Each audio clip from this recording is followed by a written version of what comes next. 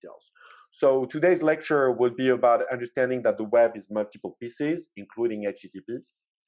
Uh, we have some naming uh, conventions. How do you name the content?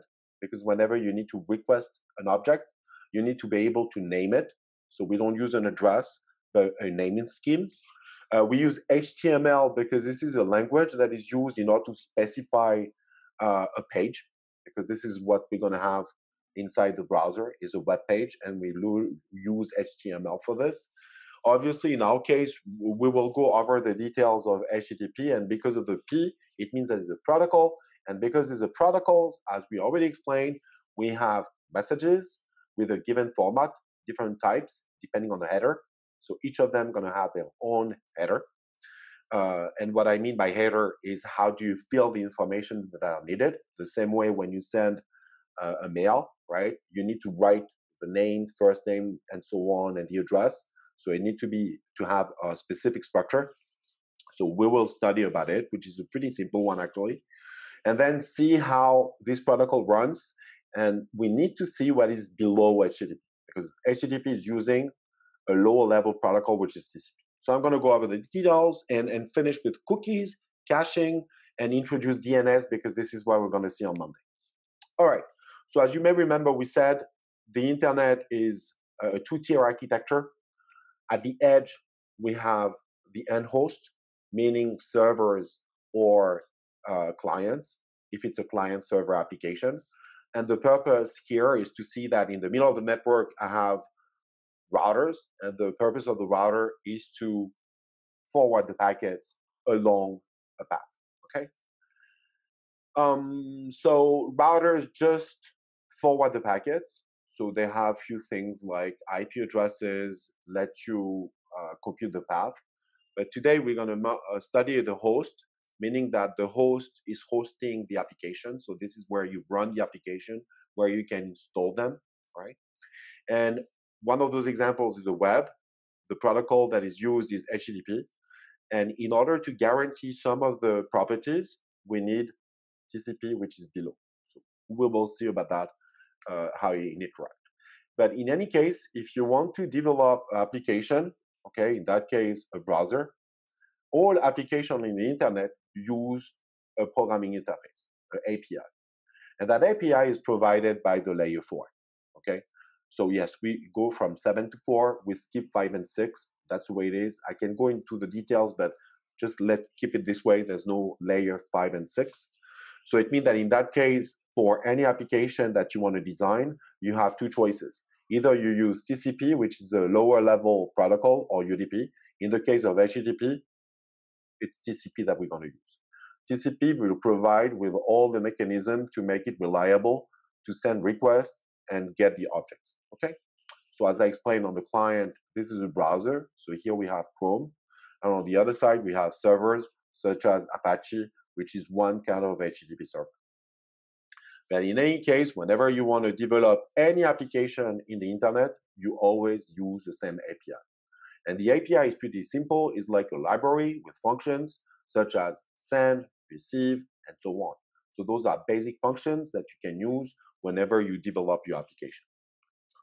Okay, so regarding the web, we have three main ingredients. So as I explained first, we have naming convention. So since we need to download pages, pictures, videos, multiple type, multiple type of objects, we need to be able to name them. And here the convention, so is using URLs. And part of it, even though I'm going to go in further details in the next slide, we have the method, which is here the protocol that we're using. Why? Because most of your product, your browsers may use other protocols. So it means that it's not only about the web. They can also do, for instance, FTTP, which is only file transfers. Okay, so that's the reason we specify uh, the protocol in that case because the browser can run multiple protocols. Today we're going to focus on HTTP, and most of the time that's the one you use. But you can see that if you put FTP and you can connect to a server, it's going to run FTP. Then we have the name of the server, and this is basically what need to be resolved as an IP address using DNS, and then uh, how to access uh, the object that I want, which is here a JPEG picture. So this is a naming convention. You, you, you know better about it, because this is what you need to input in your browser. Then we have HTML. Okay, so I guess that you already uh, saw this language uh, in other lectures or even experiment by yourself. So this is the, the, the way that we use here in order to design web pages. And one of the main properties is the fact that actually in those pages, if you have objects, those objects need to be referenced by a specific name. So it means that if you have the page, the page is actually the base document, right, which provide the structure with the text. But whenever you have a picture, the picture is a separate object. So which means that, and one of the difficulties here is when I want to download a page, I need first to get the page, and you have empty holes, gaps that you need to fill by downloading separately each of the objects of this page, such as pictures. So which means that one request for one page is not enough if it has more than just text. If you have pictures, you need also to download those pictures one by one. So if you have 10 pictures, it means that you need to do 11 transfers, one for the web page plus the 10 pictures. And that's all here are the, the difficulty that we're going to have. Okay, and in order to request those objects, we need, we uh, use HTTP. Okay, so those are the three ingredients. So regarding the naming, so you may see that we have other type of keywords that are used. So those are not really different. So the URL, so I'm sorry here, it's all messed up. I don't know the reason, but it's because the character I'm using are different. So anyway, so the URL goes as uh, this. So this part here is the URL, okay? And this is mainly the one uh, we want we, uh, we will use, okay? So uh, what is important, as I said, the method, which is a protocol, and the server name, that is very important as well, plus the path to the object. Okay. And so as I said, the, the page have multiple objects, which can be of, of multiple types. So uh, your browser is able to actually render multiple type of objects. And uh, each of those objects, which are actually embedded in the page, come with a specific tags here, markup tags, that will indicate where to find that picture. Okay, so this is this is the way it works. So HTTP, the protocol itself, so uh, it stands for Hypertext Transfer Protocol. There are actually two main versions, and we're going to focus on version 1.0 and 1.1, given that now we are pushing the 2.0. Okay, but it's not widely uh, available. Okay, it's been pushed lately, uh, mainly by, by Google, who is implemented it. But mo- most of the time, we are using the version 1.1. Okay, so I will explain the differences between 1.0 and 1.1. And this protocol uh, follows a client server model, which means that the server is on standby. So the server is a kind of a daemon that runs forever. And it, it waits for requests coming from clients a client is always a browser, whether it's like Safari on your iPhone or Chrome on your laptop. They run the same protocol, okay? And uh, basically, uh, it's connectionless. This is very important. So, which means that we don't have any states. So, whenever you send a request, your browser is not supposed to remember about what are the objects that he was expecting. So, it means that the messages should be as much as possible self-contained. They need to include all the information without relying on the fact that you have state.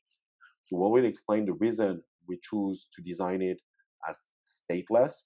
Obviously, it's for a matter of to make it more scalable because if the servers need to maintain states regarding each of the clients, that won't be scalable. Okay. And one other other thing that is quite specific to HTTP is the fact that it's an ASCII protocol. It's text based, which means that if you want to decode HTTP, the only thing that you need when you have a message is to know the ASCII code. So if you have an ASCII table, all you need to understand the message is to read the character one by one and to see, okay, so here is the bits, what is the value? And you can basically read by yourself what they mean by HTTP. That's not the case of uh, many other protocols, but that's the way it's been designed in the case of HTTP. So we're going to go into those details. So text-based, what does it mean? It means that basically the header uh, is given in plain text, if I can say so. So it means that if I want to put the message get in HTTP message, it means that the sequence of bits will be the ASCII code. So uh, 47 is J, E, T, right? So that's how you specify it. So that's not the case of all the protocols because mainly a bunch of other the other protocols that we're going to study. So I don't know if I, yeah, like IP, TCP, UDP, I binary. Binary, what do you mean by that? It means that actually we don't specify the name of the field. Okay, in the case of HTTP, we will see that the header has multiple lines. Each line is a field. The field will first specify the name of the field, followed by the value of the field. In the case of IP, I don't need to give the name of the field. The reason is because we know the location. If you know the location of the value, we know to which field it uh, refers to. So if you take the IP header, the first field is always the field version. It's on four bits, and you have different type of values, which can be IPv4 or IPv6. Uh, if you're looking for the IP, the protocol field, this is a specific field where you're going to have a specific value. Uh, the offset is of nine, so it's eight uh, bytes. So the, I think that here I give an offset in bytes. Yeah, it's nine bytes after the start of the header. So the location give you the meaning of the value. In the case of HTTP, no, the meaning of a value is given by the name of the field. I will show you this. But anyway, you need to consider that the text-based are very few of them, uh, and they are quite old protocols, knowing that nowadays we mostly have binary. Okay, so as it's a protocol, so once again, we need to specify things, and we're going to go over those. First, we need to define the type of messages, and we're going to see that we have two type of messages, pretty simple, one request, one response. That's it. Uh, of course, for a request, we have multiple type of requests, but the message, the structure of the message remain the same. Then we need to uh, have the message syntax, which means that how can we provide uh, the different fields of the header, all right? So how to specify them? So it's text-based. We already said about it. And of course, the meaning of each of the fields. But most of the time, because of the name of the field, we, we pretty can well understand what is the meaning of the field. And then we have the rules. And the rules are really important. It means that when I receive a get, what do you expect? I expect to receive response. So there is a sequence of processing and messages that I should receive in a specific order. Okay, so those are the rules. As we already said as an example, when you pick up the phone, you say hello, right? So that's a rule. In HTTP, we have rules like this. We already said that it's connectionless for HTTP, but that's specific to HTTP. We can have other protocols, even at the application layer, which actually are stateful. In the case of, of HTTP, we don't maintain any state regarding the messages that either I send or receive. That's the way it is. And we're going to see that that may have side effects. Okay. So it's always, when we design something, networks is always about a trade off. Sometimes it comes with some pros, but you also have cons. Okay. All the time. So you need to uh, basically weight those and see which one will outweigh. If a cons will basically outweigh uh, a pro. So it's open protocol, so which means that it's been it's specified, so you can read the specification online. Online, uh, those comes uh, as RFCs. Those documents mean request for comments, and they are fully available on the website of the IETF.org. So those guys are in charge of standardize everything, every protocol in the internet. So if you want to design your own browser, that would be the first source of information that you need to go see okay and understand how is it working to implement your browser to make it actually interoperable with any other servers on the internet okay?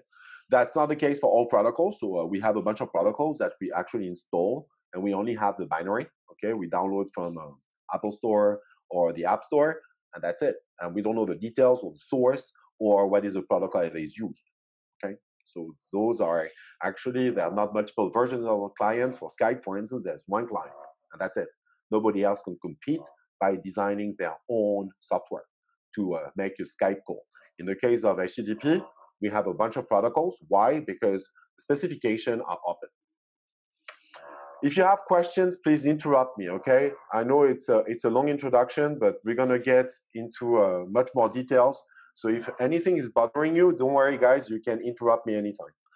Um, so as I already explained, so uh, when you have HTTP at the layer seven, we use TCP, which means that TCP will add a header on top of the HTTP message.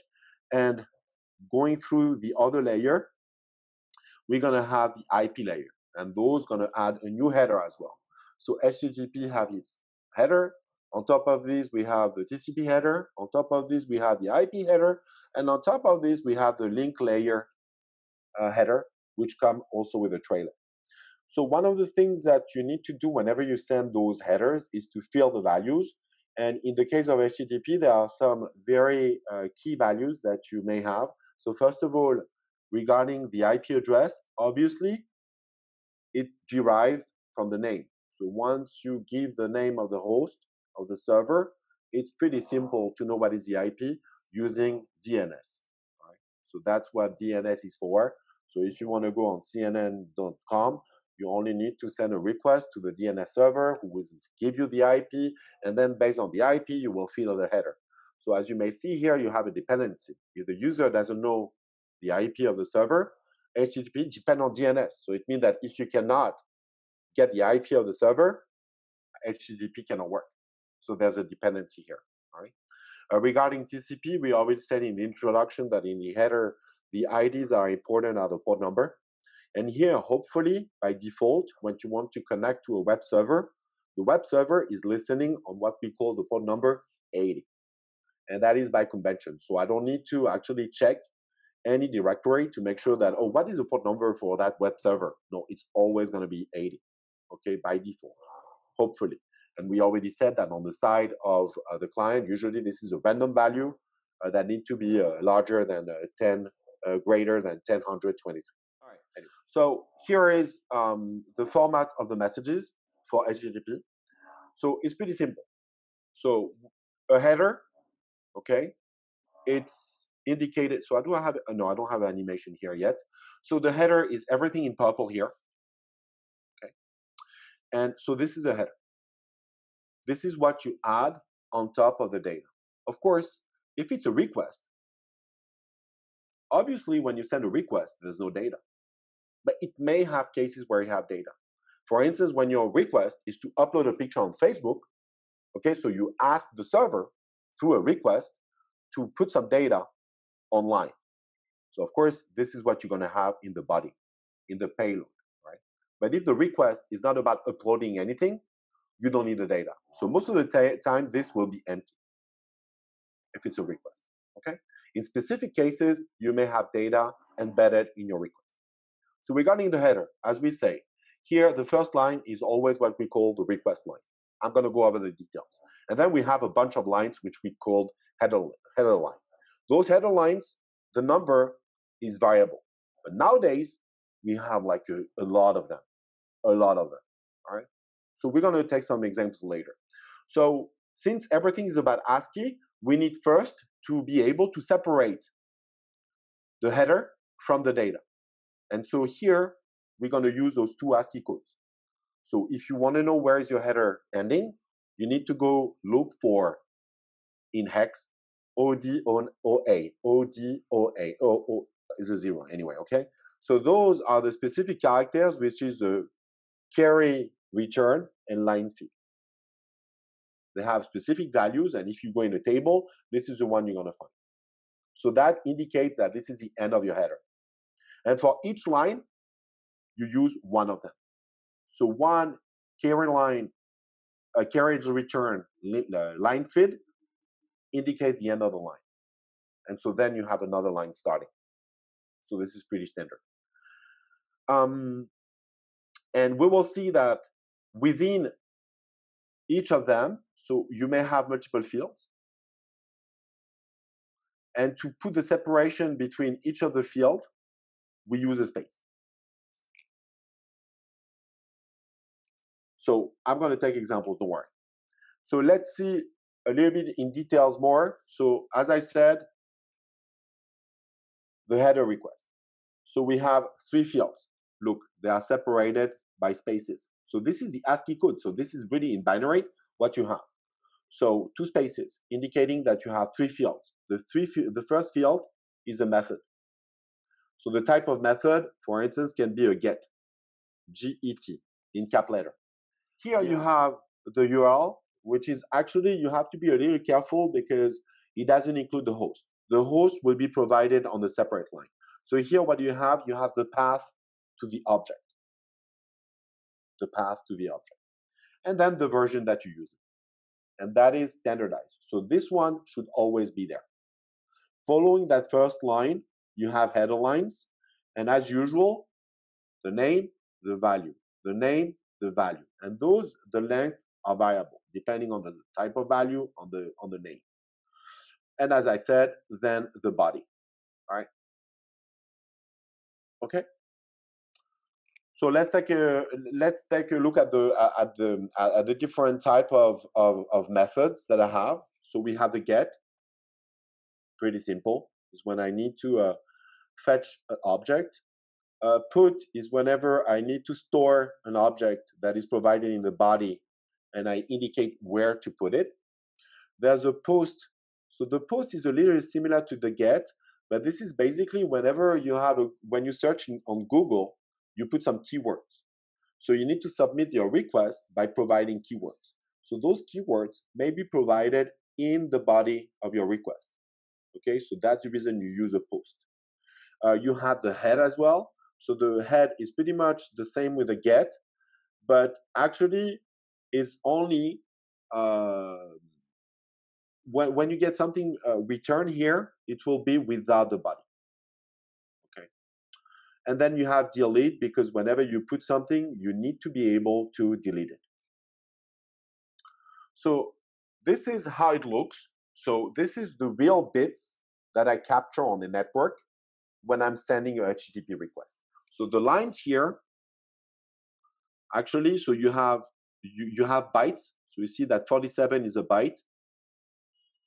The set, the byte by byte number one, sorry, it's number one, so I don't need that.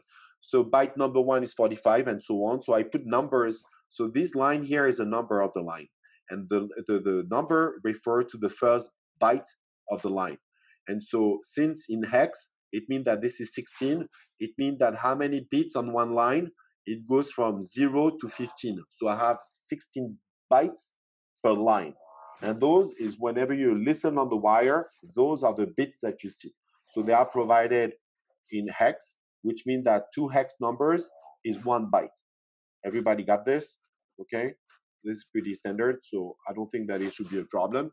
And here, this is just the number of the line. So it means that the bits are not, this is not included in the message. It's just for us to be able to number the lines. So what I did here, first of all, as we said, okay, one of the things that we need to do is to ID the lines and the different fields. So let's go with this. So you may see that here in gray uh, boxes, what did I put? The key values. And you remember that the key values are in hex 20, because those are the spaces, plus the 0D0A, which mark the end of a line.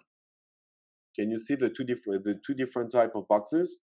So which means that now you may see that the first field is a get, is a method, pretty simple. Then I have your URL, and as I explained before, that doesn't include the host. The host is provided here.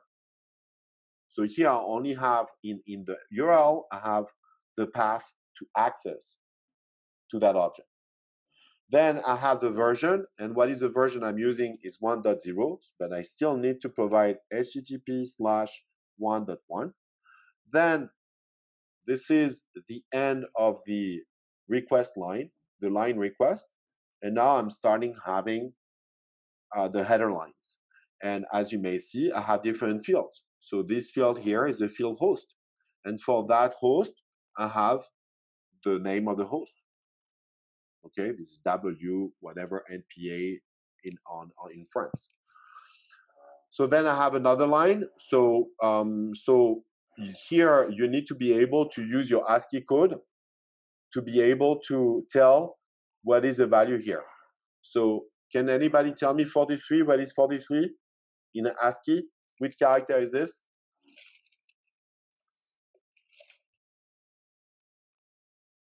Can you check online? because anyway, you, you we know that 45 is E, so it should be Plus. Is a C. Yes, it's C. Then is I guess O N N. 65 should be what? Or maybe I'm wrong. Is it a O? Yes, it, it's a O N N. Come on, guys, a, a little help here. Uh, E. E C T. Uh, no, E. Why, why did I put yeah, yeah. E I O? No, I have something uh, wrong here. So connect. 69. So 69 is missing. Connecting, maybe. Oh, I I wouldn't. I wouldn't bet about it. But anyway, C, then C O N N E C T. You you can find the table. You cannot find the table Uh, online. It's O. O. O. So N and three A. What is three A? Two dot. Yeah. So you see, so you you are providing a field name with its connection, and then the value. Okay. So I let you carry on. I think that I have. So yeah, and you see here what we have. Once again, I just put the the, the, the key values here. So you may see that yeah, we have connection equal. I mean, semicolon keep alive. So you see, so this is pretty simple to understand the HTTP message. All you need is to have an ASCII table and to analyze the bits by having the characters. So it's text based. So this is plain ah. text. So you read, you understand. You don't need to have a kind of a code. So what about the response now? So the response is a little different because as you may see for the response line, which is located the first, we have uh, the version. Oh wow, that's really weird. Uh, I shouldn't say version, I guess, right? Hmm, This is weird. I mean, version. I'm not sure if it's version, but anyway, this is where you're gonna have words like 200. The status okay. So what does it mean here? Uh, ver- oh, yeah, yeah, no, no, no. I'm, yeah, it's my fault. No, what you what you have in version is actually, you know, you request version 1.1 the server answer maybe with a version 1.0 so you need the server need to agree with your version giving that maybe it's going to downgrade the version that is used but most of the time the version is going to be the same. And then you have the status 200 the message that goes with it okay. Do you have any other type of status codes and message that you can have uh, when you receive a response 200 okay is when every, everything goes well. Yeah, 404. And the message going to be not found. And that is bad because you are requesting an object that cannot be found. Yeah, 500 something when there's a gateway problem. So you have a bunch of message. Okay, I'm going to give you a few examples.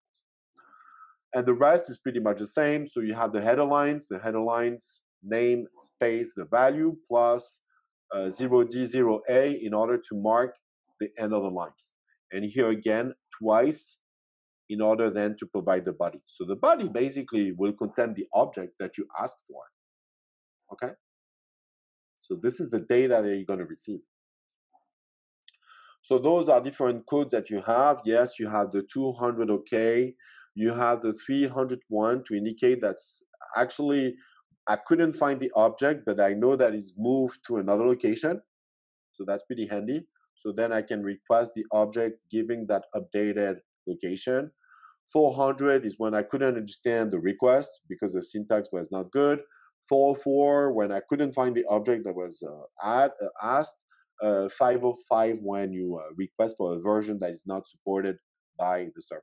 So there are many more. You can check them online. So basically, here this is a typical uh, transaction.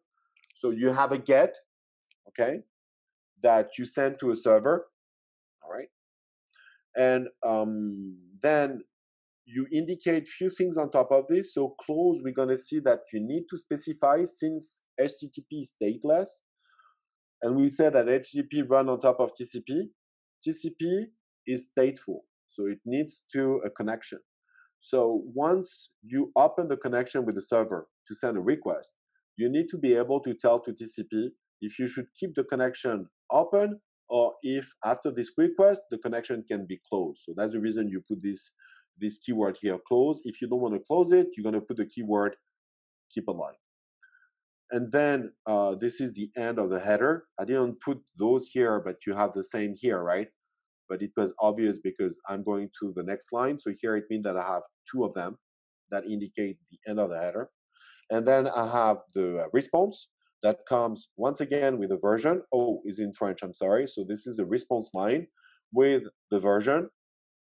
Here it is. Uh, the status, the code, plus uh, the, the, the message that goes with it. Okay. And here, as you see, close. Why? Because it's been asked to be closed. So I close a TCP connection. Here I have a bunch of other fields that we're going to explain later. But as you may see here is the language of your browser. So you can set it up.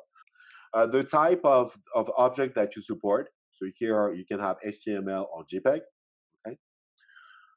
And on the server side, so it's interesting to see that you have two dates. Those are different. So the first date indicate when the requests have handled, so when the server processed your request. And this is the age of the object that you've been asking for. So what is, how old is this object? When it was last modified? So it's really important, we'll see later, for caching object, uh, object uh, for caching. This is the size of the data out of the header. So this is without the header. This is the size of the data plus the type of the object. So something that should be a little bit upsetting for you guys is to realize that when you send a request and you receive the response, can you find any information? You have the length, the type, do you have the name of the object or any information regarding the ID of the object? We don't. Remember about this. This is a big issue. Okay, so this is a typical a typical HTTP request. So I already said that we have this field here with a value which is a date. Uh, this is pretty interesting because this is what we are uh, going to use. So let's say um, you have even your browser have a caching. So it means that whenever you receive some objects, those objects going to be some of them available locally on your browser. One of the problems is how can I know if they're fresh enough? So in order to tell you they're fresh, you're still going to send a request, okay, to the server, who may then reply with a message which is three or four, saying that, oh, it's fine. I don't need to uh, resend the object because it haven't been modified. So it means that then the browser can safely show you the object without actually uh, asking for uh, the server to send it back. Understood? So you may either provide the date, but we also use e tags, which is another type of field. And the e tag is a hash of the content. So have you been using hashing functions before? Do you know what is a hash function? Yep. So it's just like a key, a fingerprint, a signature that is unique given an object. So yes, if it change, it means that the e tag in your browser in the cache is different from the server. So I have a, so you have to be careful here because what I'm saying here, right? So I'm saying that um, I'm the client. I need to request an object which is already available in my cache. So I still gonna ask to the server, okay? And I'm gonna ask the server if it's fresh. And this guy may tell me that, oh, it's okay, it's it's fresh enough. To you, is it like obvious? Like, but still, I'm gonna waste some time here. You see, I still need to wait what we're going to call later one RTT, a round trip time, before I can show to the user the object. One of the problems with objects and with the web is the fact that the objects may be very big. Okay, if you have if you take a typical picture, if it's in a high res, what is the size of the picture? High res picture. If you take your iPhone and you have the high res, how many how many bytes for one picture? nowadays. Yeah, 20, 20, 25. So that's huge. I mean, that's really big. All right. So you need to remember about this. So sending an object, the larger it is, the more time it's going to take, obviously.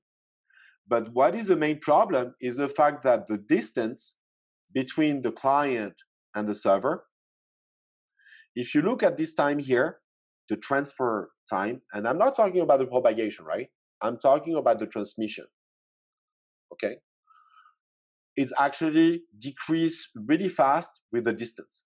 So if the distance between your client and the server is increasing, the time, uh, so maybe, no, I did it, I did it wrong, I'm sorry. It was supposed to be the opposite. So uh, uh, throughput, yeah, it's the throughput. So this is the, the, the throughput that you have. It's going to decrease a lot.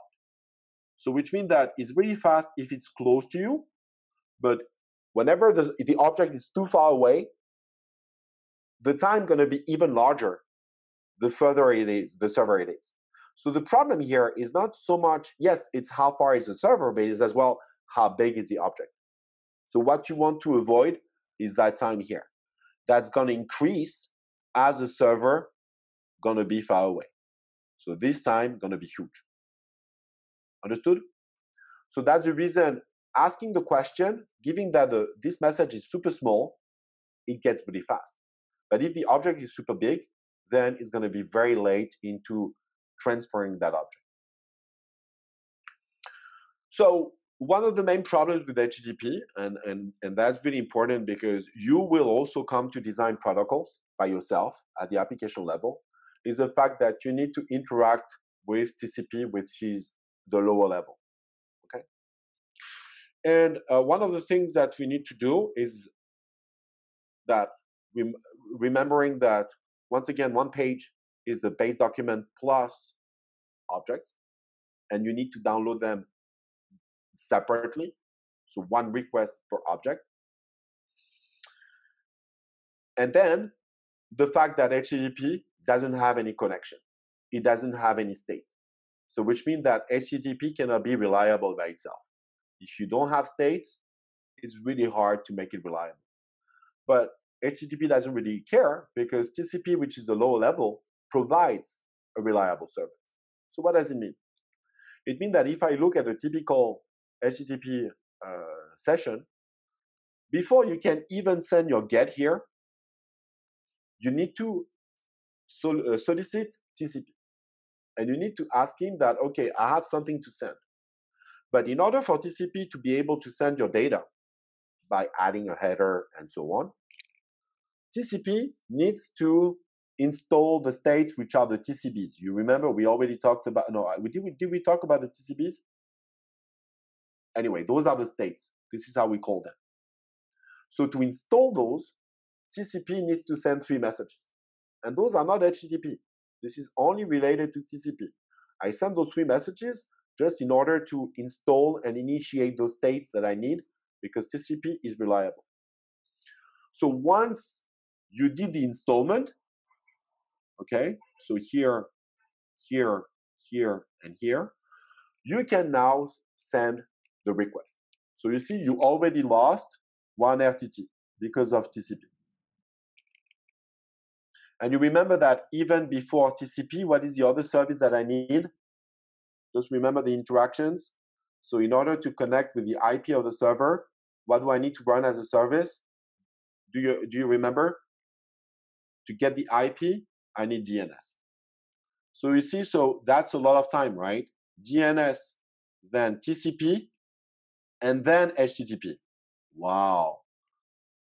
That takes a lot of time, right? Before you can even send a request. Anyway, so that's the way it is. So then once you have your TCP connection, you can send your HTTP request. Okay? And obviously you need to close to close the TCP connection. Anyway. So one of the questions that we have is to send a request, I need a TCP connection. So one of the questions will be that, oh, but now we said that actually I need to download multiple objects. So the question is, should I use a single TCP connection? Should I use multiple TCP connections? What should I do? Because I have the choice, right? So that, and that is a, the, the design choice is not that easy. Oh, why did I do it here? Yeah, I, I just gonna take the time because you had the assignment of this, just in order to explain the difference that we have between, and that's very important, the transmission time and the propagation time. Okay? So the propagation time, you can see it here. It doesn't depend on the size of the message. The transmission is the thickness of the messages that I have. This is the transmission time. This is the transmission time. This is the transmission time. And what do we mean by that? What I mean is when you have bits, you need to transfer them as a signal. Okay, because on the wire, there's no bits, right? It's like my voice, right? The information is encoded through my voice, which is a signal. We do the same with the data. So we have bits, we need to put them in form of the signal, and the signal will propagate on the wire. So the time that it takes to transfer the bits to transmit them as signal, this is what time takes the most time in a network. So the propagation time usually is very short. So as you can see here, this figure is not made to scale. This is a this is a really a bad picture. Because normally this time is super, super small compared to the transmission times. Okay? So actually the propagation is really fast because when you take a signal, how much time does it take for in the wire for electricity to move from one end to another? Do you know what is the speed? The light speed, yeah. So you see, so even if you are on the other side of the earth, this is light speed. So the propagation is nothing, you know. Yes, you need to go through multiple nodes, but on the wire, it doesn't take much time. But what takes time is the fact that actually I need to take the bits and to transmit them, to transform them as a signal. And that is a transmission. And to calculate the transmission time, I need the transmission rate, how many bits per second, and knowing the size of the message, all I need is to take the size of the message divided by the bit rate. So a typical bit rate could be one megabit per second. So now if I want to analyze the time that it takes to receive the first data, I need to analyze all those different times. And as you may see, they are pretty simple. First, I need to transmit a SYN message. Here it is. Then I need this message to propagate. So then it's going to propagate. Then I need to receive the SYN-ACK because this is a TCP message. We say three messages for TCP. So that's the reason we have one TP here, a second TP. And usually the sum of both, this is what we call the round trip time. Then what do we have? Yes, we have the SYN-ACK, the ACK, the GET, the TPs that I have here, plus the transmission of the data. And that is the time that it takes actually, once you have a request, you click on the link, the time that it takes to receive the data. Okay? So usually what we're going to do is because as you may see, the SYN, the SYN-ACK, the ACK, and the GET are very small compared to the data, we all, most of the time, we're going to ne neglect those messages. So which means that if you look into the formula, this, this, this, this can be neglected. So what's going to be left? The four TPs, each one RTT, one round trip, you see them here. One, a second one, plus the transmission time of the data. And that is the total time that it takes.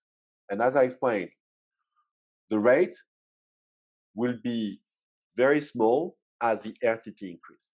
That's the property of the internet. The further away it is, the more time it's going to take. Because your rate, your sending rate, downloading rate, gonna be very, gonna gonna going to be very small. All right. So that's the way it is.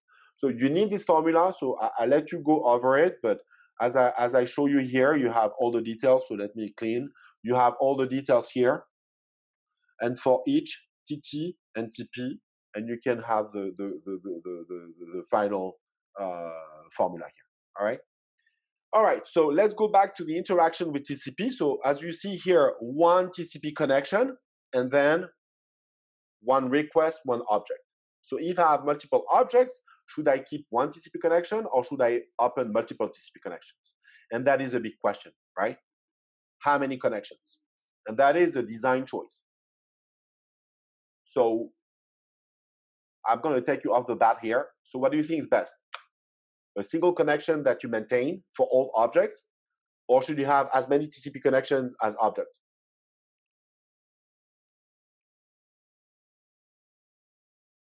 Yeah, okay.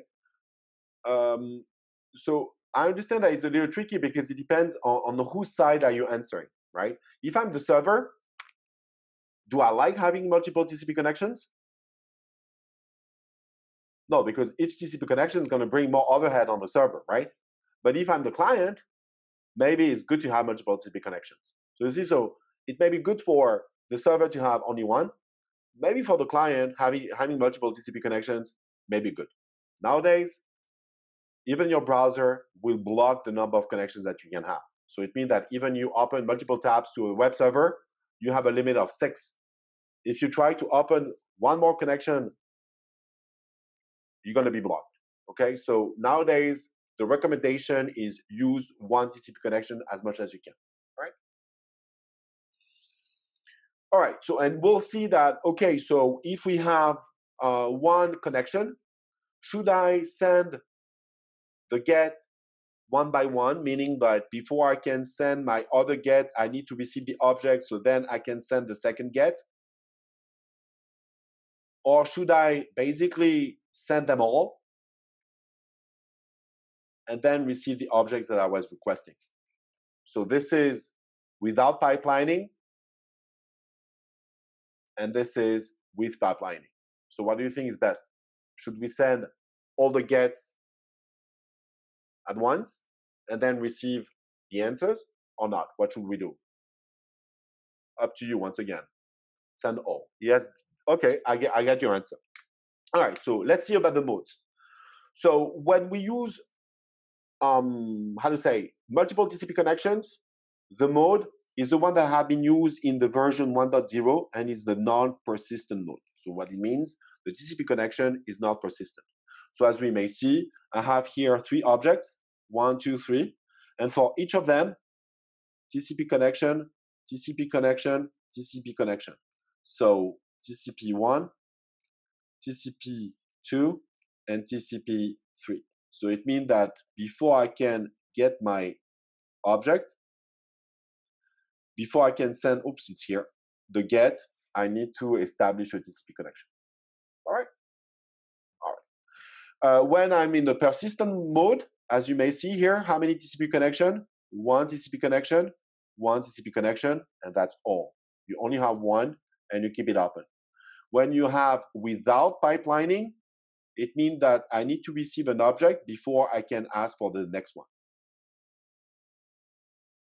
When it's pipelined, I can get send all my gets out, and then I wait for the pictures to arrive one by one. Okay? So those are the main three moves.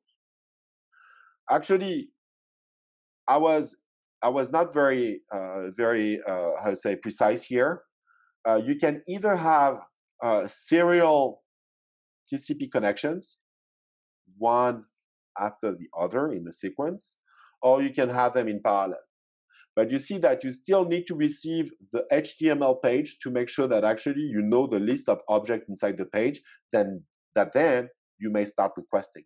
But once you have the list of objects because you scrapped the HTML page, you can start requesting those objects. And for each object, you can have parallel TCP connections. Okay, in parallel. So either you have the serial that we've seen before, or you can even do parallel. All right. So those behaviors are, are possible. Even though, as I said, with the version 1.1, we strongly suggest that you should keep alive one TCP connection and you send all your requests in the same TCP connection. Right. So um, once again, the reason is because, as I said, when you have multiple TCP connections, you're going to bring a lot of, of overhead on your servers. And this is something that you don't want to do. So the servers don't really like it. And basically nowadays, most of them, they track the IPs. And in case they see too many connections coming from the same computer, they, they basically uh, uh, uh, decline the TCP connection. Okay, so No need to try because even nowadays the servers protect themselves. Okay, Barry, I'm going to take your question uh, in, in a minute. All right. Exactly, Aline. I'm going to go back to you to you too, right? So that's the reason uh, we don't suggest uh, this behavior. But actually, that's something that you should know that I'm going to introduce right right away. So when you're using a network, so the network is basically a pipe, and through this pipe, all the traffic going to go through this pipe. And so the pipe, the width of the pipe is given by the, the sending rate. So it means how many bits per second can I send through the pipe. So what you need to know is when you have multiple TCP connections, TCP connect TCP is fair, which means that if you have three TCP connections, each TCP connection gonna receive one third of the bit rate. So at some point, some people say that, oh, okay, if I get one third, so it means that the more connection I'm to open, the more bandwidth I'm to get. If you only want doing this, so if everybody play ball and they have one connection, and inside the same room, I'm going to say, well, hmm, I'm going to have multiple TCP connections. So it means that somehow you're going to get more sending rate. Do you understand this? If it's fair.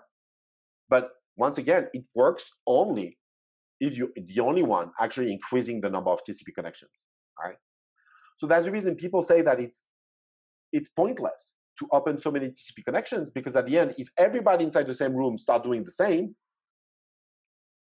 it doesn't bring any benefit except the overhead on the servers.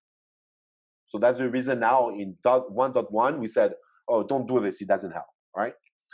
Um, so as I said, now most of your browsers have a limit embedded. So even in Chrome, if you have 10 tabs to your favorite website, most of them won't be active.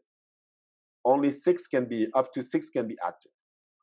Uh, what is more, one of the good things, and we will see about TCP, is normally the sending rate of a connection increase with time. So the more data you send, the more your sending rate will increase. This is how TCP works. So you start very slow and you increase. So the longer is your connection in time, the more bandwidth you're going to have. So that's one thing. One of the problems that have been raised by uh, Aline is the fact that uh, we have one of the problems relates to uh, the pipeline pipelining. So today we don't do pipelining, and you have to understand the reason for it. If you do pipelining and you send your get in a given order, so this is object one, two, and three. If the server, for some reason, including it has bugs, send you the object in a different order, is there any way for your browser to put them back in order? If you look at the HTTP header, we already said that when you receive an object, there's no information regarding the object. So in case your server is bogus, yeah, instead of having your profile picture on your Facebook uh, profile, you're going to have the picture of somebody else. And there's no way you can correct this. So, in order to prevent this behavior here, what is the only way to prevent this from happening is removing pipelining. So, that's the problem. We don't do pipelining anymore because there's no way you can reorder the object and put them at the right spot in the web page. Because you remember, HTTP is stateless. So when you send those gets, you lose memory. You don't even know what you were asking for. So you receive some objects, you don't even check if actually, do I need those objects? You don't even know you don't have states, so you pass them to the browser. And you try to fill the holes without knowing which name goes where. So you see, so the only way to put an order and to respect the structure of the page is to remove pipelining. Okay, so that's too bad. But as Aline was saying, um, we have the big problem is what we call, and this is a very famous problem in computer science, the head of the line blocking. So it means that if your first get is for the larger object of the page, you're going to stock the whole page before you receive the big object. That's one of the side effects of the version 1.1, and that's the reason we are moving slowly to the version 2. Okay, so uh, once again, we say that it's stateless. All right. Um, so stateless is good for the scalability, which means that you avoid overloading uh, the server. But as you may see, uh, having no state is not very good for the browsers. So in order to make up for not having states, we introduce the cookies. You heard of cookies, right? Uh, they are very, uh, very powerful. All right. And what is a cookie? A cookie is a piece of information that you're going to install on your browser. So you're the one who actually allow the browser using them, right? You can totally disable them if you like so. But what is the cookie bringing? So let me show you first how it works. So let's say you're a client, right? And you're going to connect to a server. So each server, okay, have a database. And in the database, they're going to start recording as many information regarding different clients. So when you connect for the first time, let's say it's your first time you connect to Amazon. So Amazon gonna ID the fact that, oh, this is a new user.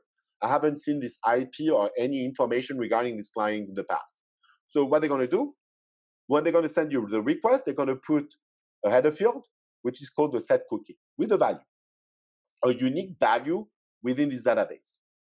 And sending back this response, your browser going to install the fact that if you need to request something in the future from Amazon, you always need to specify this ID for the cookie. So it means that the next time you visit Amazon, Amazon go to the database, fetch as much information regarding your previous activity, either on Amazon or other websites, and that is a big issue because the people who actually maintain databases with your cookie can cross-reference multiple databases that belongs to different companies.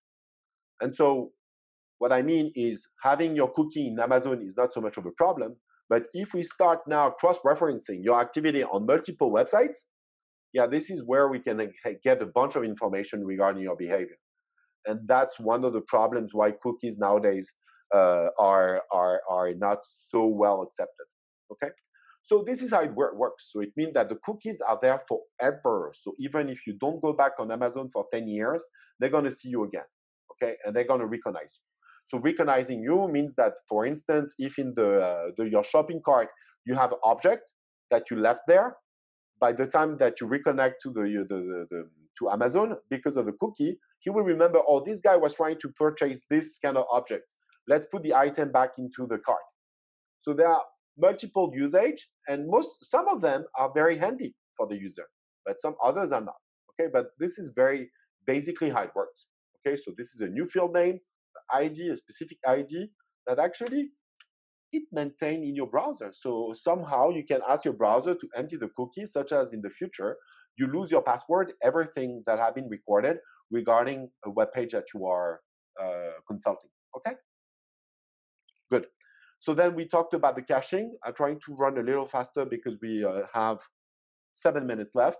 So the caching, so we said so either it happens on the browser, which have a web cache, but hopefully what you would do, instead of going all the way to the server, because we said that the further the object is located, the more time it will take to fetch the object. So in order to speed up the process, we bring the copy closer to the client. Okay, so it means that here the round trip to the proxy, which is a cache, is much closer than the original server.